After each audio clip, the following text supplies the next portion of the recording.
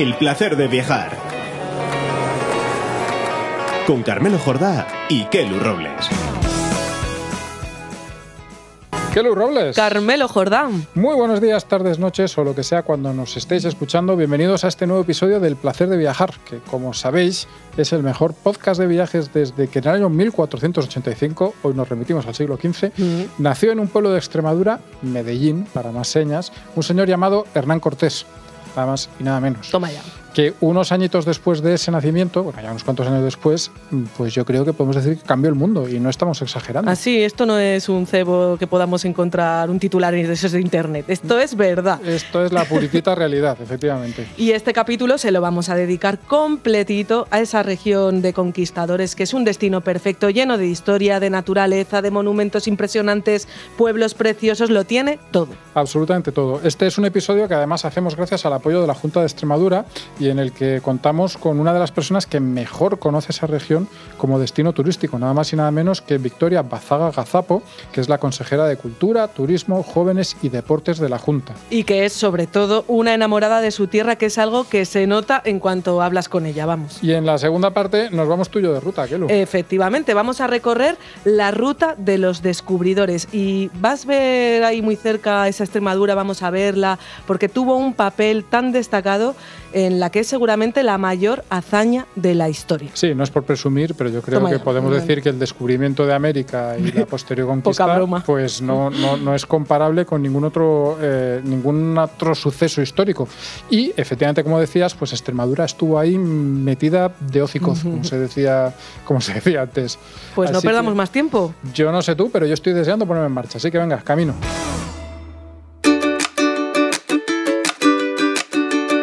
Para hablar de esta región que nos gusta tanto y nos parece tan interesante, tenemos nada más y nada menos que a Victoria Bazaga Gazapo, que es la consejera de Cultura, Turismo, Jóvenes y Deportes de la Junta de Extremadura. O sea, con gente importante, que no pienses Hombre, tú que claro, esto- como siempre, aquí. Claro, ya, para, un tema, para un tema importante, pues tenemos gente importante. Victoria, muchas gracias por estar con nosotros y bienvenida a tu podcast. ¿Qué tal? ¿Cómo estáis? Pues nada, aquí un placer estar contigo y hablar de, de Extremadura, que eso, que es un sitio que merece la pena que hablemos de él. Una comunidad que es lo mejor de lo mejor, pero a veces incluso lo mejor se puede mejorar. Así que, Victoria, no sé si cree que Extremadura ha aprovechado siempre todo su potencial turístico o aún le quedan cosas por hacer. Nos queda muchísimo por hacer. Nosotros somos un, un destino turístico muy joven, tenemos entre 30 y 35 años, que es una edad preciosa, Mm. y, y es- y estamos casi comenzando. Queda muchísimo por enseñaros, por contaros, por dejaros disfrutar, por descubrir. Queda mucho, afortunadamente. Pero a pesar de que efectivamente quede mucho, yo creo que es la impresión que tenemos, al menos desde fuera, es que la región sí que está en un buen momento, ¿no? No sé si incluso en un momento dulce desde el punto de vista del turismo, lo que ha pasado en los últimos tiempos, ¿no? Sí, estamos en un momento, la verdad, que muy dulce, porque con mucho éxito, porque estamos siendo considerados un destino de interior que gusta, que apetece, que, que mueve a la gente para estar con nosotros y, disfrutando además de, tener todos estos turistas y viajeros y gente que nos acompaña en nuestra región. Es, es un momento muy interesante, con mucho recorrido, por supuesto, pero muy bueno, la verdad. Mm, Siempre gusta y apetece. Victoria, no sé si. eh, ¿Qué crees sobre los viajeros que buscan exactamente cuando piensan en Extremadura? Yo creo que nosotros se nos asocia mucho a tres variables muy interesantes. Mira, a la gastronomía. Yo creo que la gente piensa en Extremadura se come muy bien. Mm. y hay muy buen jamón y buen pimentón de la vera, hay quesos exquisitos, ya sabéis, todas estas cosas tan ricas que tenemos. Entonces se nos asocia a comer, se nos asocia a un paisaje muy especial. ¿Eh? A, a nuestra dehesa, a nuestro Parque Nacional de Monfragüe, a todos estos rincones que tenemos y yo creo que la parte de la naturaleza también. Y luego el indiscutible, yo creo que protagonista de Extremadura siempre es el patrimonio.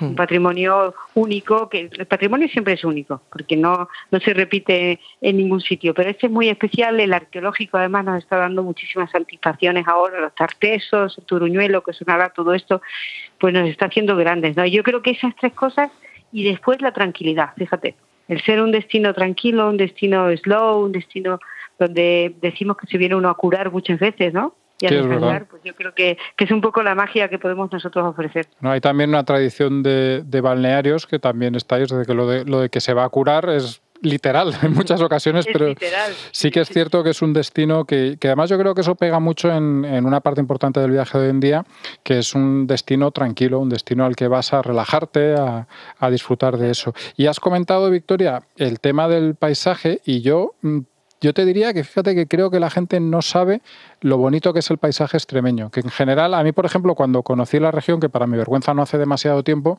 yo me llevé una sorpresa porque no me esperaba un paisaje tan bonito. Y no estoy hablando de Monfragüe, que por supuesto es lo más espectacular, sino del paisaje de la dehesa por la que vas cuando vas hacia las ciudades extremeñas, cuando atraviesas esas zonas de dehesa, que me parece espectacular, me parece muy, muy bonito.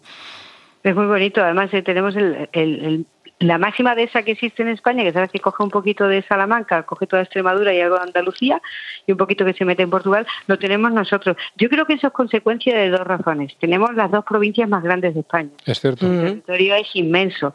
Y entonces no es lo mismo ir al norte que al sur de Extremadura, no es lo mismo acercarse al oeste, ya cercano a la raya con Portugal, que irse al este. Es verdad que es muy diferente y, y es un paisaje que arrebatador, pero en concreto el ecosistema de la dehesa, pues con el, con el certito ibérico, con el toro blanco, que es el rey de la dehesa, que pasta tranquilamente por allí, con ese cielo lleno de aves muy especiales, pues lo hace muy, muy, muy peculiar y muy singular, la verdad. Respecto al patrimonio que comentabas, es verdad que también Extremadura puede ser como un libro de historia abierto, porque yo creo que es muy interesante también esa relación de la comunidad con la región, con Hispanoamérica, eh, conocerla a través de lazos como hay en Guadalupe, Trujillo, Jerez de los Caballeros, Medellín. Eh, todo eso también llama mucho a la gente, ¿no? La tierra de conquistadores que se ha hablado toda la vida. Eso es, eso es, eso es. bueno, nosotros somos quizás la puerta de Hispanoamérica en Europa, ¿no? Ellos vienen a través de nuestra Extremadura, de nuestro Guadalupe, como bien decís, Trujillo, Villanueva de la Serena, Llerena, bueno, Mérida, Cáceres, Badajoz. Tenemos muchos sitios donde está un poco aquella gran aventura que se emprendió de descubrimiento, ¿no? De ir mm, buscando esa nueva tierra y está aquí, está aquí con nosotros y, haciéndola valer, haciéndola enseñar. Y luego que además eh, la comunidad hispana viene a buscar no viene a ver a su Virgen de Guadalupe, ¿sabes? tenemos un montón de Trujillos por el mundo, en Hispanoamérica, Méridas del mundo, Trujillos del mundo, Cáceres, Medellín, etcétera, ¿no? Y eso nos une, nos une su cultura y la nuestra es compartida, nos une la gastronomía e incluso, fíjate, nos une incluso el tema de la vestimenta. Tenemos eh, trajes típicos del folclore nuestros que son idénticos a los que hay en Hispanoamérica, ¿no? Entonces, es una línea para nosotros muy, muy bonita, muy interesante que, que trabajamos con mucho cariño en turismo. Sí, no, desde luego, toda esa parte histórica, además, bueno, a los eh, oyentes de Radio de Libertad Digital es algo que les encanta, que desde mm. luego yo creo que pocos reclamos hay mejores que ese, a nosotros también nos encanta, y la verdad es que es algo que es, que es muy interesante. Y bueno, no es que sea interesante además, es que luego hablas de sitios como Guadalupe, como Trujillo, que son preciosos. exacto, son pueblos maravillosos. Son pueblos maravillosos y además a eso le tenéis que unir que nosotros tenemos también la prehistoria. De hecho, os decía hace un momentito, bueno, pues todos estos descubrimientos que estamos haciendo sobre la cultura tartésica, Roma, desde luego la tenemos en Mérida y su entorno. Entonces, este, estamos hablando de 60.000 años de historia, ¿no?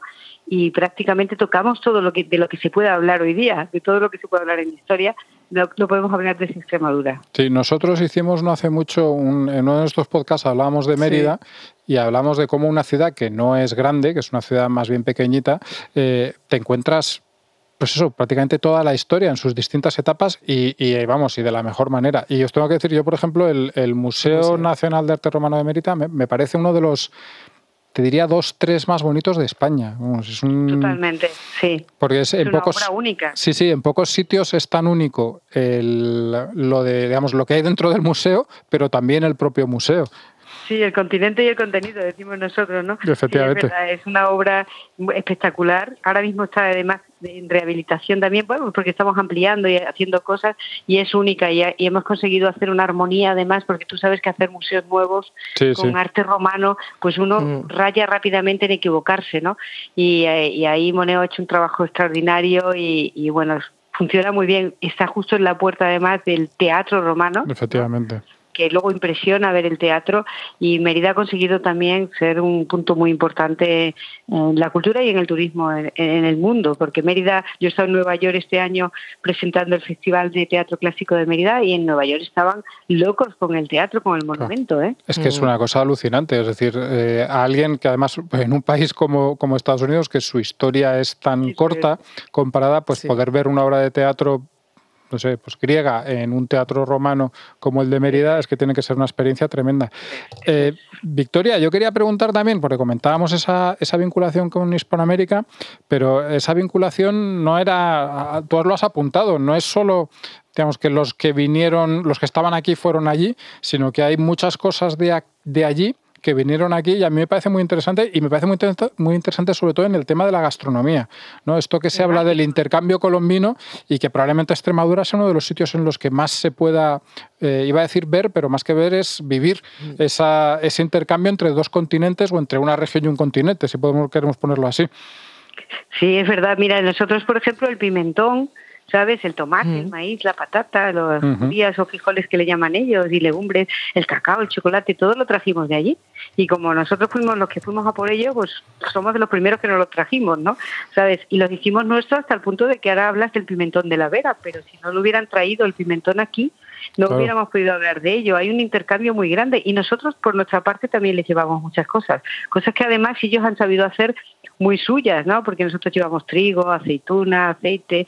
Fíjate que los caballos, el otro día que estuve en un evento en esta línea de trabajo que tenemos nosotros extremestiza con X de Extremadura y, el mestizaje, nos hablaban de la Florida de, Norteamérica, que el caballo lo llevamos nosotros, los españoles. Y todo el, mundo del cowboy, que parece que es de ellos, si nosotros no hubiéramos llegado hasta allí, no hubiéramos llevado nunca un caballo, ¿no? Entonces hay, hay infinidad de líneas en las que podemos tener mucho que decirnos y mucho que hacer y que nos han dado grandes satisfacciones por, a las dos partes, ¿no? Sobre todo sobre el pimentón, por cierto, yo estuve en el Museo del Pimentón de Jaray de la Vera y también es precioso como explican el modo de extracción a nivel tradicional, de verdad, muy curioso, muy coqueto. Em, en Extremadura también ha sido pionera, hay mucha gente que no lo sabe y por eso hay que resaltarlo, en muchos tipos de turismo innovadores relacionados con la naturaleza, como la observación de las aves o de las estrellas. ¿Qué nuevas formas de turismo eh, crees, Victoria, que tienen un futuro en la región? Mira, el arqueológico, el de las estrellas, está teniendo mucho éxito porque cuando se hablaba un poquito antes de Extremadura, también tenemos en, ese, en esa tranquilidad que yo intentaba transmitiros, que creo que es un factor envidiable aquí en Extremadura, también es verdad que la sostenibilidad, la falta de contaminación, pero no solo la contaminación de gases, sino lumínica, no tenemos, ¿no? Pues nos permite ver el cielo de día y de noche de una manera increíble, ¿no? Pero fíjate, ahora me voy a meter dentro del suelo, porque el turismo arqueológico está teniendo un éxito tremendo. Eh, estamos haciendo cosas no solo dando la posibilidad al turista de que vea una excavación, una cueva, un hallazgo único, sino que además algo que no se había hecho nunca en Extremadura y que en España se ha hecho muy poco, muy poco, que es el abierto por obras. Que, ah. permite ver al turista, por ejemplo, tengo un fresco en Llerena que ha salido ahora increíble, con pan de oro, y os estoy hablando de un fresco de unas dimensiones tremendas que ha salido por casualidad, y hemos abierto la posibilidad de que por grupos reducidos eh, puedan ver no solo el fresco, sino cómo se trabaja en la limpieza y, en el hallazgo, ¿no? Y eso está, está atrayendo muchísima gente que intelectualmente estas cosas pues les, seducen y les hace no solamente personas que tengan que ver con la arqueología, ¿no? Y, con la antropología, etcétera, sino no, no, gente curiosa que le apetece, además de las grandes firmas científicas que están viniendo aquí a Extremadura a comprobar de primera mano todo esto. Pues yo creo que esa parte de unir esta gastronomía tan peculiar y este clima tan bueno y todo lo que estamos hablando con la intelectualidad del descubrimiento, del de dónde venimos, pues va a ser también un producto que va a ser atractivo. Bueno, a mí te digo que, además estoy sinceramente todo, que a mí eso me parece súper interesante, porque yo de, de, muy niño, no sé si sería de haber visto las películas de Indiana, Jones, yo quería ser arqueólogo. Es decir, luego, luego degeneré en periodista, pero, pero era algo que siempre me gustaba mucho y que la verdad es que sí que me parece muy bonito y que creo que a todo el mundo, incluso a aquel que piensa que no es algo que a él le interese, cuando lo pones allí y mm. le explicas las cosas y las ve, iba a decir las tocas, no las puedes tocar porque no hay que tocarlas, pero y casi las tocas, eh, a todo el mundo le gusta eso, a todo el mundo le fascina. Y además, mira, nosotros intentamos que interactuar, porque como tú bien dices, nos gusta tocar, nos gusta conocer, entonces intentamos interactuar haciendo reproducciones de alguna de las obras. Mira, hace muy poquito que hemos presentado el primer y la primera extremeña de la historia a través de unos cráneos encontrados y que han sido en 3D, bueno, un trabajo extraordinario de un doctor, de un, de un odontólogo que con las piezas dentales ha sido capaz de reproducir el rostro y el cuerpo de esas personas. Pues todo eso está interesando muchísimo, no solo desde el punto de vista que nos fija y nos da historia y nos da conocimiento, sino de, del ocio, del disfrute, ¿no? De cualquier turista. Y de aprender que siempre es una de las partes más importantes de, de cualquier buen viaje. Es decir, si te vas a un sitio como Extremadura y vuelves a casa y no has aprendido nada, eh, joder, tienes un problema serio, hay que aprovechar. y luego hay cosas ligadas un poco también al calendario, ¿no? Que Extremadura es interesante durante todo el año, pero por ejemplo ahora que estamos en otoño, sabemos que tenéis muchas citas interesantes, que es una tierra también muy interesante para la micología, pero tenéis una de la que nos gustaría que, que nos hablases, el otoño mágico, que recientemente ha sido declarada fiesta de interés turístico internacional. Bueno, eso, estamos muy contentos. ¿eh? El otoño mágico, ya la palabra lo dice, ¿no? Otoño, que siempre es como una vez que acabamos de divertirnos y disfrutar del verano, entra el otoño y tiene, tiene un sabor como muy especial, ¿no? Tiene una gastronomía, un, color, un ambiente, una eh, la propia naturaleza se transforma, ¿no? Es como si se quitara el manto ese y se pusiera otro, ¿no? Se quita el verde entre los ocres, pero encima mágico, y mágico porque, bueno, pues porque está localizado en el Valle del Ambroz un valle mm. precioso, ¿sabes? Muy especial, con castaños, bueno, con una... Mira, cuando estabas hablando antes de, la dehesa, la dehesa, árbol bajito, la encina es bajita, el olivo es bajo, lo que hay, el que pues ahora nos vamos a los grandes árboles que hay en nuestro territorio y a este otro paisaje mucho más fresquito, que además adornan con una infinidad de recuperación, de fiestas y de costumbres y de artesanía puesta a disposición del turista junto con una gastronomía única de otoño, esas de, esos platos, esos,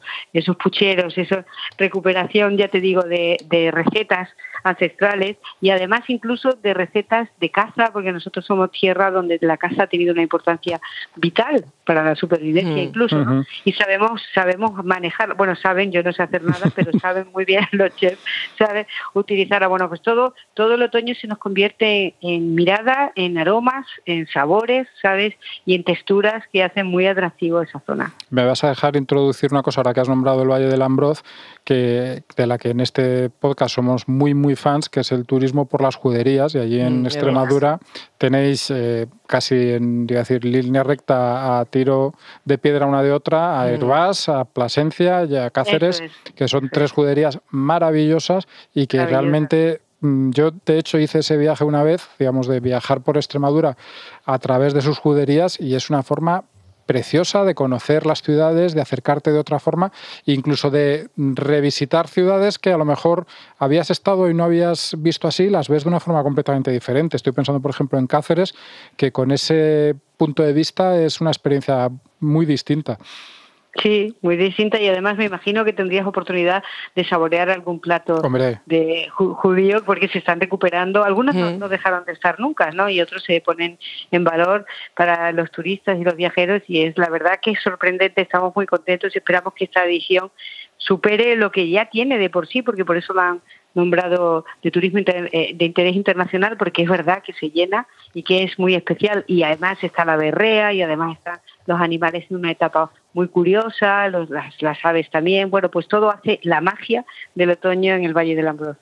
Por último, Victoria, tenemos que hacerte la pregunta difícil. Ya sabemos que no tú como consejera no puedes casarte con nadie, no nos vas a decir cuál es tu sitio favorito, pero nosotros como periodista tenemos que hacerte al menos una pregunta más complicada y te vamos a pedir no que te cases con nadie, pero que nos digas un par de sitios de Extremadura que sean secretos, que hasta ahora casi nadie los sabe y que seguro que a nuestra audiencia les pueden, les pueden cautivar si se los presentamos, claro. Bueno, pues eh, porque no te puedo decir que no, claro, porque ya me has dicho que no puedo decir, no puedo decir que no, que siempre lo digo. Pero mira, voy a deciros dos porque hay muchos, pero yo invitaría a acercarse, por ejemplo, a Medellín y ser capaces de ver el Teatro Romano de Medellín, ¿sabes? Toda la parte de excavaciones que estamos haciendo y que, que están llamando muchísimo la atención, por decir algún sitio así diferente, que no esté tanto en las guías, pero que es, que toda la necrópolis que está saliendo es algo increíble, ¿sabes? Y luego a lo mejor me iba un poquito más al norte y me buscaba un sitio como puede estar, como puede ser el Arco de Caparra, y solamente ir a ver el Arco de Caparra de noche. ¿Vale? Un arco que os va a llamar mucho la atención y que miréis a las estrellas desde el arco y que cada uno deje de volar su imaginación a ver qué es lo que está pasando. Bueno, te digo que eh, a mí me has pillado completamente. Enseguida, en cuanto apaguemos el micrófono, vamos a Google a ver el arco porque, porque no lo conocía, pero, pero bueno, seguro que es una, una delicia. Victoria, ha sido un placer hablar contigo. Nosotros vamos a seguir ahora en el podcast hablando de Extremadura y contando cosas de allí. Y nada, solo me queda pedirte que la próxima vez que nos veamos o que nos encontremos sea, en Extremadura, efectivamente. Eso es. Contad con ello. Muchísimas gracias y un beso muy grande a todos.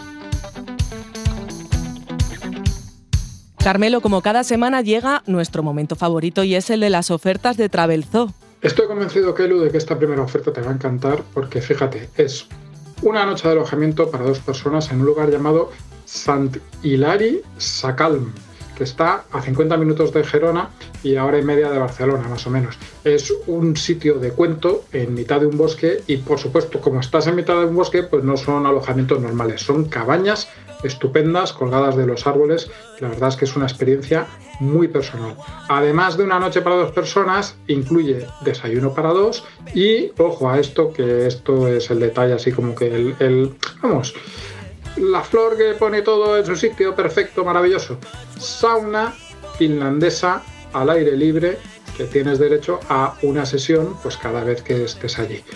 El precio por toda esta cosa fantástica solo, solo 129 euros para esa estancia de una noche, pero para dos personas. Oye, pues muy relajante esa escapada por Cataluña, además no muy lejos, pero también es muy relajante, romántica, sobre todo la segunda oferta que nos trae esta semana Travelzoo y es a Venecia, un viaje a Venecia que incluye hotel, vuelos, ese hotel con desayuno durante cuatro días y sobre todo dónde está el hotel. La ubicación del hotel es increíble porque está en la plaza de San Marcos, una oferta que podría costar mucho más cara y que como siempre Travelzoo nos trae las mejores ofertas, así que la podemos conseguir desde solo 199 euros por persona. Otra oferta con un toque romántico y muy especial y además en una ciudad pues nada más y menos que París. Fíjate, en esta ocasión es ir a París pero alojándote en un cualquier sitio, ni siquiera en un hotel mono, no, no, en un hotel flotante sobre el Sena. Ojo, cuidado, ¿eh? Bueno, pues en ese hotel tendrás además una cena estupenda, una botella de vino, en fin, todos los detalles y todo por 269 euros para dos. Un precio que además, ojo, si no fuese socio de Travelzoo, pues sería 413 euros, es decir, que te ahorras fíjate, casi 150 euros, que es una barbaridad. Además, oye, aquellos que tengan un poco más de rumbo, pues pueden elegir lo mismo y pagando solo 399 euros, que fíjate que es menos de lo que paga el resto de la gente, en vez de un camarote normal tienes una suite con jacuzzi y sauna. Así que fíjate qué opción tan estupenda y tan romántica para estar en París. Ay, París, qué romántico, pero fíjate que a mí el cuerpo me pide Caribe. Caribe, como el que nos trae la siguiente oferta de Travelzoo, un viajazo de ocho días en un hotel cinco estrellas en la Riviera Maya, con todo incluido y con los vuelos. Es decir, un viaje de esos en los que no tienes que estar pendiente de más que de disfrutar, como nos gusta a nosotros. Vuelos directos desde Madrid a la Riviera Maya, siete noches en habitación doble deluxe con vista al jardín en el Blue Bay Gran Esmeralda de cinco estrellas, con todo incluido, sea un viaje que es una pasada. ¿Y desde cuántos es la pregunta? Pues desde solo 799 euros por persona. Digamos como acabar en todo lo alto, porque mira, 17 días de viaje por China, repito, 17 días, es que es una auténtica barbaridad. Vamos, es inmejorable para conocer ese país que además, hombre, es un país en el que a lo mejor si no vas en un viaje organizado, pues te cuesta un poco gestionarlo todo. Pues conociendo todas las grandes ciudades, Pekín, Shanghái, conociendo también la China rural, recorriendo la Gran Muralla, en fin, es que todo, es que está todo, los famosos guerreros de terracota, en fin, no te pierdes nada de China en este viaje, como digo, 17 días y el precio es 1.799 euros, ahorrando ojo, porque es un viaje valorado en 2.700 euros, es decir, que te ahorras 900 euracos y haces un viaje maravilloso para conocer un país tiene que ser absolutamente increíble. Ya sabéis que si queréis recibir todas las ofertas de Travelzo como Carmelo y como yo cada semana, solo tenéis que inscribir vuestro correo electrónico en travelzo.com o en travelzo.es. Pelu, ¿A ti qué Hmm. es lo que más te gusta de la ruta de los descubridores? Pues mira, yo creo que lo mejor es tener la posibilidad de recorrer una serie de pueblos que son muy bonitos, que son interesantes y además podemos hacerlo con un hilo conductor que nos hace verlos de otra manera, ¿no? Un poco redescubrirlos, guiño, guiño, aquí esta palabra, porque claro, es que no deja de ser la palabra más adecuada a ellos, a Extremadura y a la luz de esa historia, ¿no? Tan increíble y fundamental que es el descubrimiento y la conquista de América. No, no puedo estar más de acuerdo. Y además la ruta pasa por sitios que es que a mí personalmente me encantan. Por ejemplo, empieza en Plasencia, que es una ciudad que yo creo que es increíble. Lo comentábamos antes con la consejera, que, que no tiene el crédito, eh, el crédito que se merece, que es pequeña, pero es muy sorprendente, que tiene, bueno, ya lo hemos dicho, un montón de monumentos, entre ellos nada más y nada menos que dos catedrales, murallas, un acueducto, una judería. Es que es una, una auténtica barbaridad. Además se come de cine, pero eso ya es otra Oye, historia. dos catedrales, esto no lo sabía yo. Sí, sí, Plasencia tiene dos catedrales. Tengo pendiente, tengo que ir a Andan- andan- conocerlas. Andan sobradísimos en Plasencia. Y esta ruta, bueno, es eh, la verdad que tiene muchísimas paradas y muchísimos personajes además históricos. Efectivamente, porque la ruta pasa por Plasencia, porque allí nació Inés Suárez, que es un personaje súper interesante y también un poco como la, la ciudad, Mm. no tan conocida como merecería. Bueno, ella participó en eh, el- la conquista de Chile, tu- venía- tu- tuvo una larga relación con Pedro de Valdivia. Valdivia, perdón, que es el conquistador, está conocido como el conquistador de Chile, y ella también participó en la fundación, se la considera cofundadora de una ciudad que en aquel momento se llamó Santiago de Nueva Extremadura, que por cierto me parece un nombre muy bonito, y ahora es nada más y nada menos que Santiago de Chile. Oye, mujeres bravas, valientes, y fíjate con qué hitos cuentan las mujeres extremeñas. De Plasencia, la ruta también pasaría por Cáceres, ¿no? Sí, Cáceres, eh, hombre, quiero decir, ¿qué podemos decir? Pues podemos decir, entre otras cosas, que es una ciudad que es patrimonio de la humanidad. Tiene uno de los cascos medievales, yo creo que más grandes y mejor conservados, Sí. no de España, no, De de, Europa. Es que es una auténtica pasada. Y no tiene, dejamos que Plasencia tiene dos catedrales, pues eh, Cáceres tiene dos juderías, lo cual tampoco está nada mal. Eh, toda la parte vieja está rodeada de murallas y es una colección de rincones, a ver, a mí me parecen llenos de magia, de estos por los que vas paseando. Y por de la noche es y de repente espectacular. te parece que efectivamente Sí. es que estás en el siglo, vaya usted a saber cuál. Y, y que además, curiosamente, es una ciudad que, pese a que tiene bastante turístico, bastante turismo, perdón, eh, se pueden encontrar esos rincones así como para estar muy Mm. tranquilito todo ahí y que realmente la experiencia sea, bueno, pues una experiencia viajera de primera, de las más impactantes e intensas, creo Sí. yo, que se pueden hacer en España. Bueno, pues la Plaza Mayor famosa, subir por las escaleras del Arco de la Estrella, visitar esas plazuelas y esas callejuelas que tiene la Judería Vieja, que es Mm. una preciosidad. Y bueno, recordar que muchos fans de muchos oyentes de este podcast y muchos fans de la serie seguro que lo hacen, que allí en Cáceres se grabaron algunas escenas de Juego de Tronos, eh, escenas con peso, o sea, Sí, escenas sí, importantes. importantes. Y además Cáceres, pues respecto a todo esto que estamos contando hoy, y un poco con esta perspectiva que estamos haciendo de los descubridores, pues fue una ciudad que participó en muchas de las expediciones que se lanzaban en América para ir descubriendo territorios. Y allí nació, entre otros, un personaje como Francisco de Godoy, que fue el segundo alcalde de Lima. Fíjate Anda, cosas. fíjate. Y vamos como esos descubridores a toda pastilla porque quedan muchísimos lugares de Extremadura que descubrir, como la siguiente parada que es Trujillo, un lugar espectacular. Aquí hemos hablado mucho, además nosotros fuera y, y de micro y, y en el micro, porque pues es muy famoso por sus iglesias, por sus conventos, por su Semana Santa y por supuesto la protagonista es esa plaza, que además esta ciudad tenemos que decir que fue amurallada en el periodo árabe, entonces todo esto pues te Y mete... sigue teniendo un castillo espectacular. Espectacular. Está muy bien subir porque si lo primero que hacemos al llegar a Trujillo es subir al castillo, veremos un poquito lo que luego nos espera por todas esas callejuelas medievales, esa plaza mayor renacentista, empedrada, soportalada, preciosa.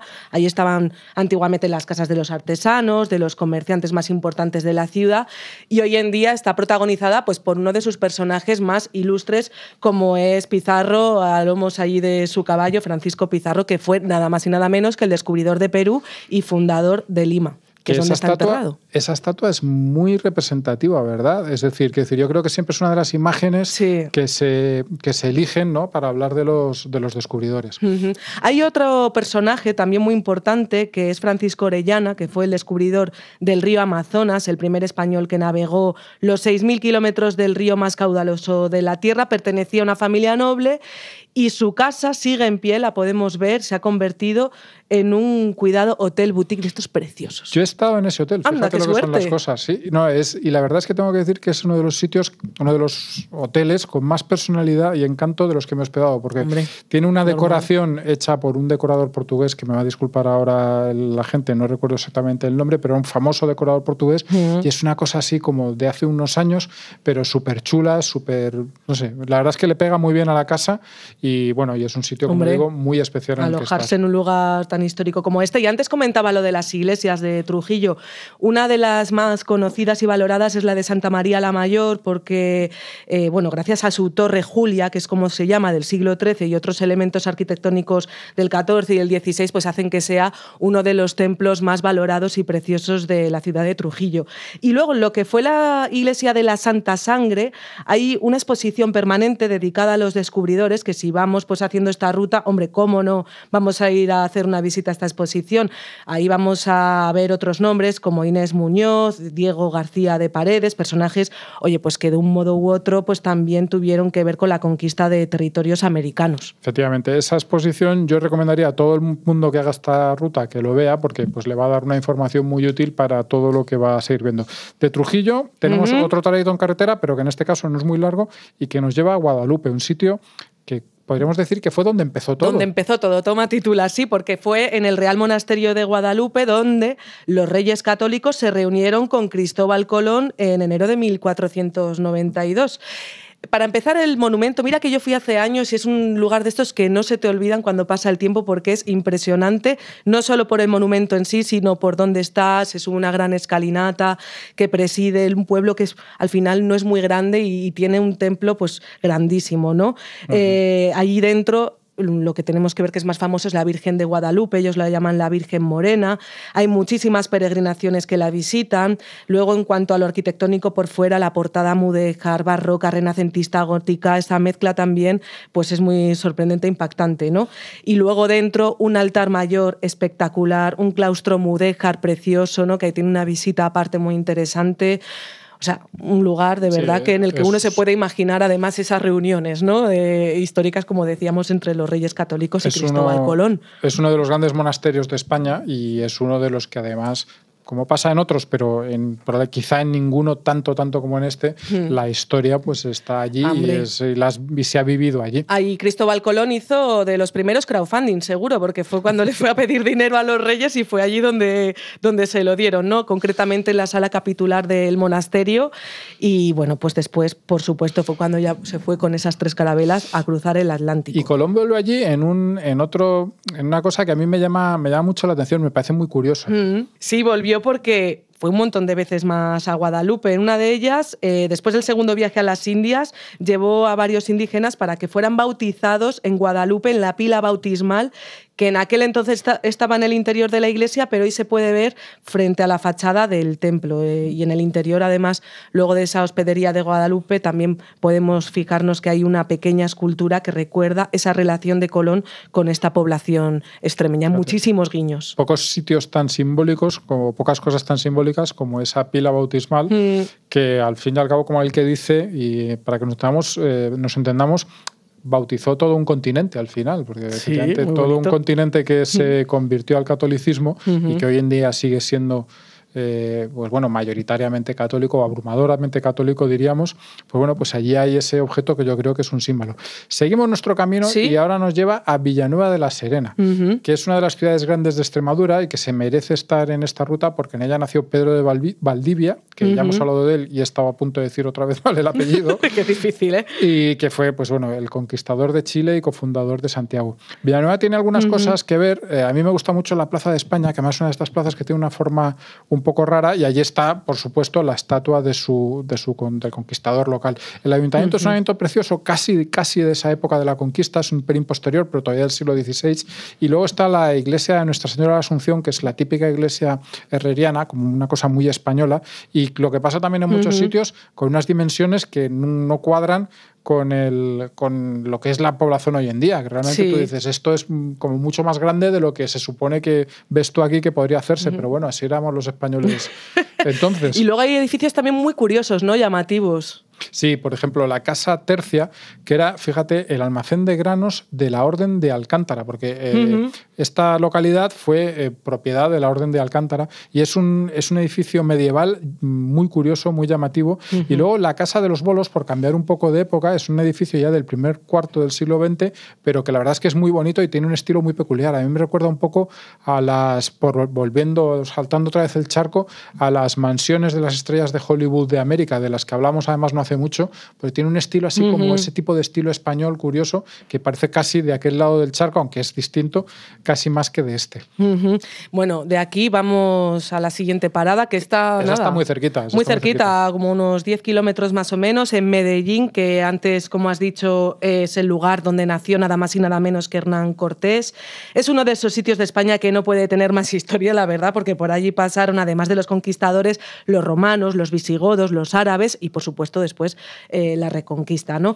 no hay que perderse de Medellín el castillo, está en un cerro elevado eh, a cientos de metros sobre el nivel de la villa y es impresionante el teatro romano que hay a sus pies, que está muy bien conservado además y junto con el castillo, pues hombre, imagínate, una estampa maravillosa. Es que esas dos cosas de esas dos épocas tan distintas, pero que las dos están tan lejos de nosotros y que no tienen nada que ver, pero que bueno, para nosotros en nuestro ojo es para que nos estamos todo, todo antiguo, pues la verdad es que hacen, no sé, hacen una postal que yo de verdad la he visto en muy pocos sitios eh, en muy pocos sitios tan espectacular como esa. Estaba pensando que tiene que ser un poco faena nacer en el mismo sitio y siendo también conquistador que Hernán Cortés, ¿no? Porque es que, claro, no fue el único, pero hay otros que, que también nacieron en, en, Medellín, hay como Alonso Belnálvez de Quirós, era también de allí, fue gobernador de Venezuela, fue uno de los fundadores de Caracas. Que tú fíjate, o sea, uno de los tíos que fundó Caracas y, y es un segundón, es que esto es tremendo.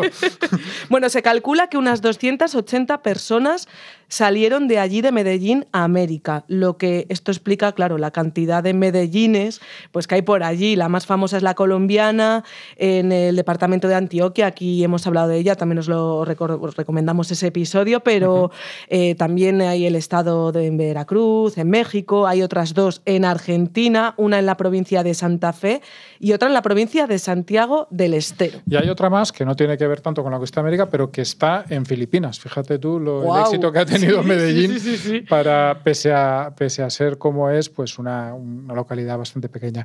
Ya la siguiente parada de nuestra ruta sería Mérida. Hemos hablado de Mérida con la consejera también y es famosa por todo ese pasado romano tan lejano, pero que al mismo tiempo está tan presente. en Mérida, que no se nos olvide decir que es patrimonio de la humanidad. Eso sí que es importante porque la gente entienda eh, no sé, el valor de lo que realmente se puede ver allí. Y en Mérida, en Mérida nació otro gran explorador que es Juan, Juan Rodríguez Suárez, que fue el fundador de la primera ciudad creada en lo que hoy es Venezuela. Por cierto, ¿sabes cómo llamamos esa ciudad?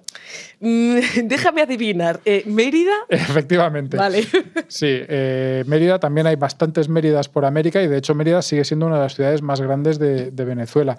Eh, de Mérida nos trasladaríamos a Badajoz, que es una ciudad un poco olvidada, pero bueno, como destino turístico, pero que es muy interesante, ¿verdad, Kelu? Bueno, yo me lo pasé genial. El año pasado fui a sus carnavales. Os lo recomiendo, uno de los mejores carnavales que tenemos en España. Pero bueno, siguiendo esta ruta ¿no? que estamos haciendo de conquistadores en Badajoz, en nuestra parada, es una ciudad poco poco conocida, injustamente desconocida, diría yo, pero que tiene cosas muy interesantes. Por ejemplo, tiene la Alcazaba, eh, la, muralla abaluartada, que es una de las más antiguas también de Europa y de las más largas, sobre todo de las que se contienen pues, más, más metros. ¿no? Y ambas son, eh, digamos, herencia musulmana, porque Badajoz fue una de las principales ciudades fundadas por los musulmanes. Es decir, que obviamente estuvieron en todos sitios, pero muchas de las ciudades pues, ya estaban allí cuando llegaron los musulmanes, pero otras, como Badajoz, Bengals. La crearon. A mí me gusta mucho, me llama mucho la atención de Badajoz la Plaza Alta. Sabía que me ibas a decir esto porque es súper fotogénica. Efectivamente. claro. Efectivamente. Y luego el fuerte de San Cristóbal, mm. porque me parece interesante porque nos recuerda un poco cómo Badajoz es una ciudad que está a solo unos kilómetros de la frontera y que por lo tanto pues siempre ha tenido una función muy defensiva. Mm. Que no se nos olvide decir que Badajoz, por supuesto, está en esta ruta porque también tiene su conquistador, que en este caso era Pedro de Alvarado y Contreras, fue uno de los grandes exploradores de la época y participó en la conquista de Honduras, Guatemala y El Salvador. Tres países. es que me encanta, ¿eh? O sea, pensarlos de verdad es realmente impactante. Bueno, nos quedan dos sitios más. El primero es Jerez de los Caballeros, donde tenemos que irnos porque allí era de uno de los conquistadores más conocidos, Vasco Núñez de Balboa. Tantas calles ¿no? y lugares que tenemos en España dedicadas a esta persona. Un señor extremadamente importante. Claro, nació en Jerez de los Caballeros, como os decimos, y fue el primer español en divisar lo que se llamó el Mar del Sur posteriormente rebautizado como el Océano Pacífico. O sea, este pacense conquistó y gobernó diferentes territorios del actual Panamá, ¿no? lo que es hoy Panamá. Se vio envuelto en intrigas, en traiciones en las que, entre otros, participó Francisco Pizarro y le acabaron llevando a ser decapitado en Panamá. O sea, que también luego tenían sus problemitas. ¿no? No, no, es que la, la conquista tiene, tiene líos de todo tipo que, bueno, los conoce la historia, no son tan conocidos a, a nivel del público, pero que la mm, verdad es que yo creo que eso daría unas series de Netflix absolutamente impresionantes. Cosas que podemos ver en la ciudad dedicadas un poquito. Pero déjame decir una cosa. A ver, dila, todo el mundo, todo el mundo dice que, hombre, no descubrió el Océano Pacífico porque ya, porque ya. lo habían visto los que están allí. No, de, digamos, descubrir un sitio no es verlo, encontrártelo un día, sino dar la idea de su importancia y de su tamaño y de lo que realmente es. Y eso es. Claro, y plasmarlo para la posteridad, ¿no? Exacto, eso es lo que hacían los descubridores españoles como Núñez de Balboa. Sí, divulgar el conocimiento, ¿no? Que esto es la clave también de, todo esto. En Jerez de los Caballeros hay varios lugares, ¿no? Que se dedican a Vasco Núñez de Balboa. Podemos ir a ver, por ejemplo, la escultura que reproduce el momento en el que divisó es el Mar del Sur. También se puede visitar la iglesia de San Bartolomé, que en un patio conserva la pila en la que fue bautizado y la que fue su casa se ha convertido en un museo y en toda Extremadura son pues varias las empresas que llevan el nombre de Balboa en reconocimiento a uno de sus personajes más destacados, o sea que le tienen ahí muy presente. No hay que olvidar que no es el único descubridor relevante de Jerez de los Caballeros, aquí también nacieron otros descubridores como Hernando de Soto que descubrió Florida y hizo una expedición eh, importantísima por el río Mississippi. Pues nada, fíjate, nada más y nada menos, Jerez de los Caballeros, qué papel tan importante mm. en, esa, en ese descubrimiento de América y en esa conquista. Tenemos un último sitio, como dicen, mm, el último, pero no, no el menos importante. No el menos importante, y, porque la ruta de los descubridores termina en un pueblo llamado Llenera.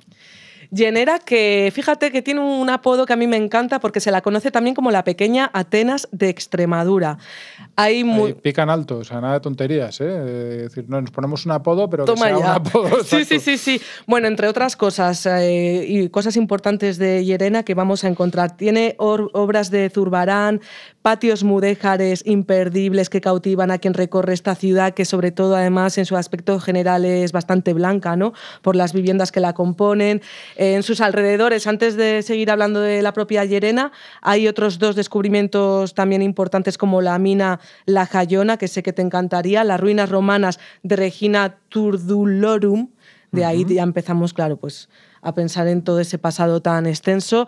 Llerena en su día fue uno de los principales enclaves de la Orden de Santiago. Por eso cerca de la Plaza de España está lo que se llama la Casa Maestral, que es un día, en su día fue la residencia de los maestres de la Orden de Santiago y también eh, sede del Tribunal de la Inquisición. Tiene un precioso patio mudéjar, al igual que los que se pueden admirar en el Palacio Episcopal, hoy es el Museo Histórico de la ciudad de Llerena, y el Palacio de los Zapata, que es el actual juzgado de primera instancia de la comarca extremeña. Eh, personajes, aquí tenemos que apuntar a Cieza de León, que es conocido, era conocido como el príncipe de los cronistas de Indias, o sea, un buen periodista, diría yo.